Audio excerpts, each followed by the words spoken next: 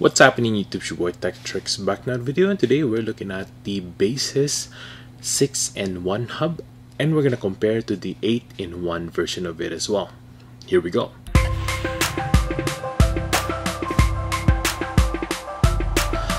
Things first, make sure to hit that subscribe button below, hit the notification bell so you could be notified of next videos to come up tips and tricks and unboxing just like this one.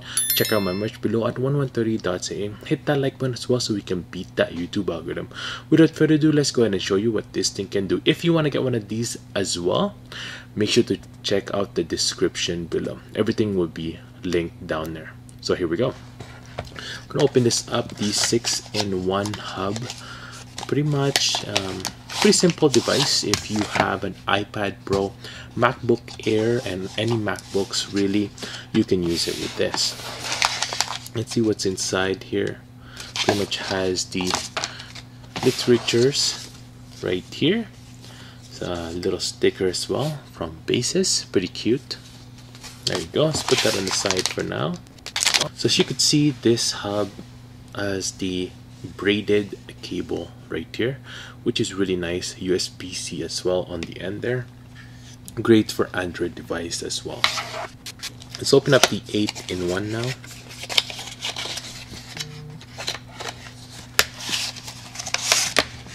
There we go. The packaging is a little bit different here. Again I'm just gonna pop this out of here like so take out a little bit of plastic. It comes with the instruction manuals there as well. And it's a bit bigger as you could see. The 8-in-1 also has a USB-C but no braided cable here. So these are the two hubs right here. The Baseus 6-in-1 is a little bit smaller than the 8-in-1 as you can see there. Both of them has the indicator lights on top. The Baseus 6-in-1 has a braided cable right here.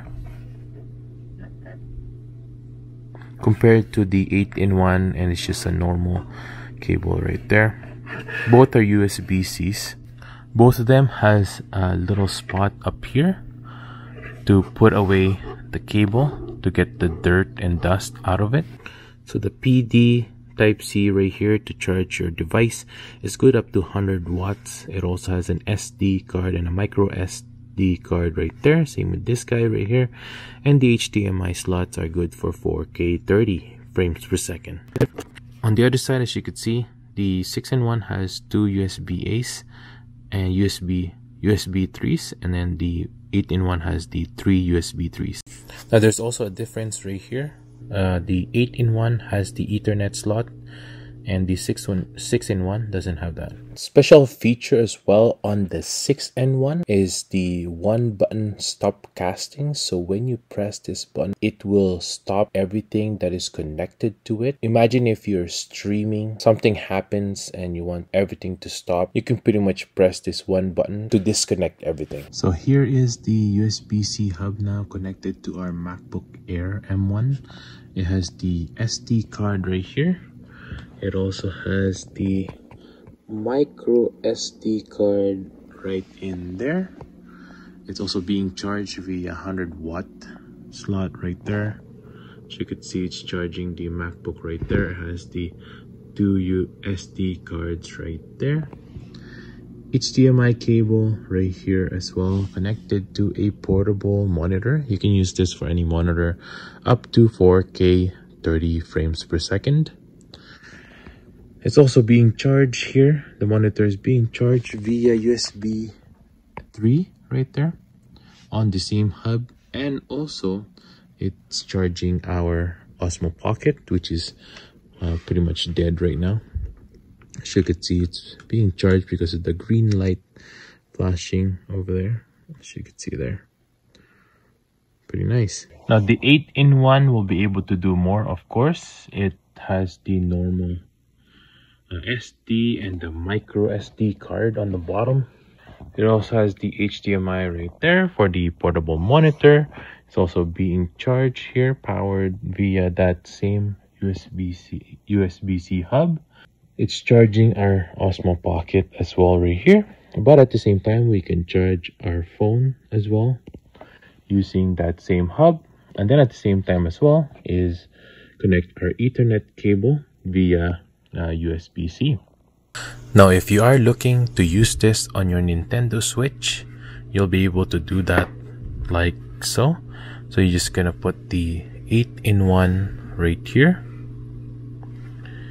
USB-C charging right there. And then the HDMI cable goes to the portable monitor or any monitor that you want.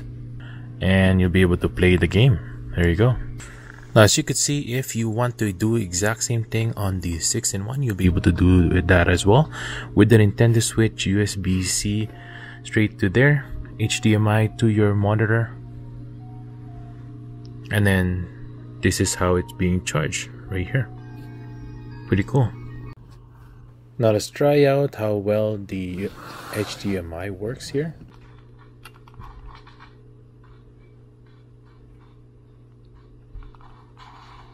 as you could see no input lag whatsoever really good and pretty snappy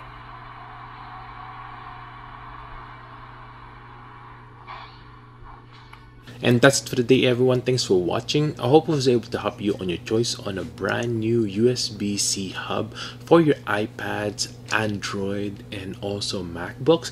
If you want to get one of these, I'll link this down below. So go ahead and check that out. Make sure to subscribe to my channel. Make sure to hit that like button as well so we can beat that YouTube algorithm. I hope you guys have a good day and stay grateful. Peace.